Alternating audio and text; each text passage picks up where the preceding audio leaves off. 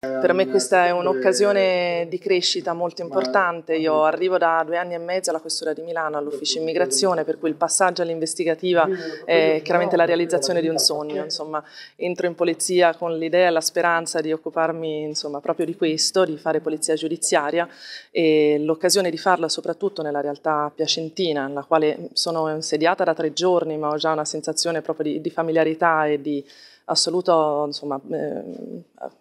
condivisione e collaborazione da parte dei colleghi è un, un, bellissimo impatto. Quindi assolutamente felice, mi aspetto di lavorare, insomma, ottenere risultati, una squadra molto in gamba di professionalità, non solo dei colleghi funzionari ma anche degli stessi eh, colleghi che insomma operatori della squadra mobile di cui sono dirigente, eh, il dottor Blasco che mi ha preceduto sicuramente ha fatto un ottimo lavoro perché ho trovato una squadra compatta e soprattutto con tanta voglia di fare, per cui spero innanzitutto vabbè, di, di essere anch'io trascinante come entusiasmo perché essendo proprio insomma alle prime esperienze e è chiaro che ho tanta voglia di fare, di imparare da loro, allo stesso tempo spero di essere in grado di poter insegnare anche qualcosa anch'io, eh, per cui è un momento di crescita assolutamente importante che sono felice di vivere in questa questura con il signor Questore che mi ha accolto con, veramente con delle parole insomma, eh, che mi, fanno, insomma, mi gratificano e soprattutto mi, mi danno tanto stimolo e motivazione rispetto a quello che sarà il lavoro che mi appresterò a fare.